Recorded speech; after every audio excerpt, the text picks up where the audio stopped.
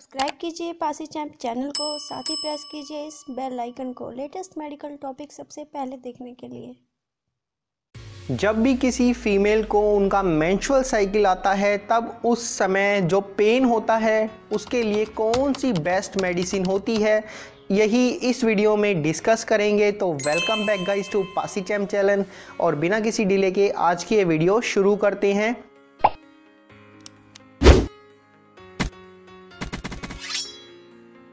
तो गाइज़ देखिए normal menstrual cycle 28 days का होता है। लेकिन अगर आपका जो मेंस्ट्रुअल साइकिल है, ये 21 से 35 दिन के बीच का है, तब भी इसे नॉर्मल पीरियड बोला जाएगा मतलब कि नॉर्मल मेंस्ट्रुअल साइकिल बोला जाएगा। और इस मेंस्ट्रुअल साइकिल के दौरान होने वाली जो ब्लीडिंग है, उस समय कई फीमेल्स को पेन होता है, जिसे डिसमोनरिया बोला जाता है। और इस कंडीशन में WHO ने बहुत सारी मेडिसिन रेकमेंडेड की है। लेकिन इन मेडिसिन में से बहुत सारी मेडिसिन ऐसी भी हैं जिनके आपको काफ़ी सारे साइड इफ़ेक्ट्स देखने को मिल सकते हैं। लेकिन गाइज़ एक ऐसी मेडिसिन भी है जो कि काफ़ी सेफ़ है और बहुत सारी कंट्रीज़ हैं जिन्होंने इन मेडिसिन को अप्रूव किया हुआ है और रेकमेंडेड मेडिसिन होती है ये डेस्मनोरिया की कंडीशन को ट्रीट करने के लिए।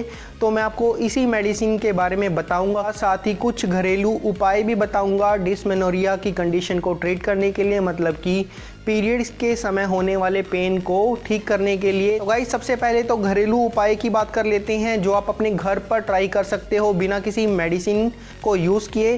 तो पहला जो उपाय है वो है, आप गर्म पानी की सिकाई कर सकते हो। आपने गर्म पानी को जितना आप सहन कर सको। वो गर्म पानी आपने कांच की बोतल के अंदर डालना है और अपने पेल्विक रीजन में जहाँ पर आपको पेन हो रहा है, वहाँ पर आपने राउंडिंग मोशन से बोतल से सिकाई करनी है।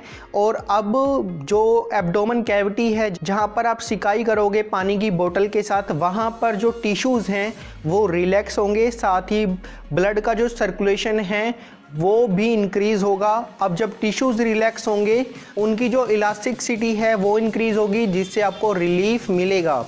ओके जो दूसरा उपाय है वो है तुलसी की चाय या फिर अदरक की चाय। तुलसी और अदरक की चाय में काफ़ी सारी ऐसी प्रॉपर्टी पाई जाती हैं जो कि आपको मेंशुअल क्रैम्प्स में होने वाले दर्द को कम करती हैं। तो आप तुलसी की चाय या फिर अदरक की चाय को भी ट्राई कर सकते हो।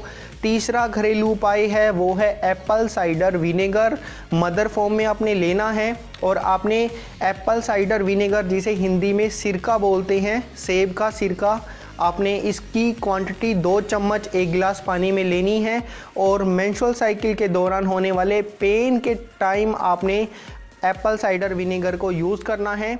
तो ऐसे भी आप अपने पीरियड्स में होने वाले पेन जिसे डिस्मोनरिया कहा जाता है, उसको आप ट्रीट कर सकते हो ईजिली ओके गाइज़ अब बात करते हैं सबसे सेफ़ मेडिसिन की। तो गाइज़ सबसे सेफ़ मेडिसिन आईब्रोप्रोफेन होती है। और अगर आपकी बॉडी वेट 60 के से नीचे है तो आप 400 सौ की टैबलेट को यूज़ कर सकते हो।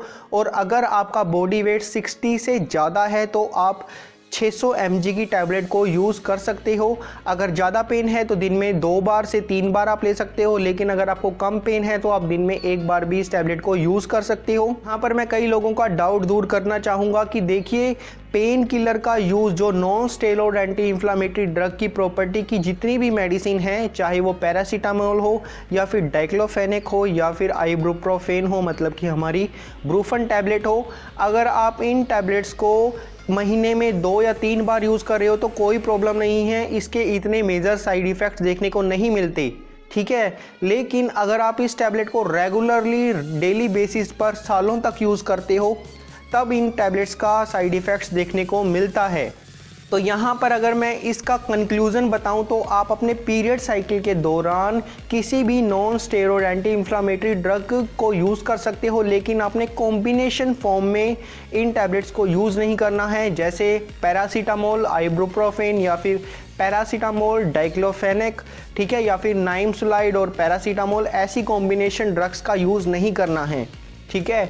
और सबसे सेफ़ मानी जाती है ब्रूफन टैबलेट और डब्ल्यूएचओ ने भी रिकमेंडेड किया हुआ है इसको मैंशुअल क्रैम्प्स को ट्रीट करने के लिए मतलब कि डिसमोनोरिया की कंडीशन को ट्रीट करने के लिए. ओके तो इसकी जो डोज है, वो दिन में आप तीन बार ले सकते हो मैक्सिमम अगर आपका वेट 60 के से ज़्यादा है 600 सौ की टैबलेट अगर सिक्स अगर आपका वेट 60 के से नीचे है तो आप 400 सौ की टैबलेट को यूज़ कर सकते हो। वो आपके पेन पर डिपेंड करता है कि आपको कितना पेन हो रहा है।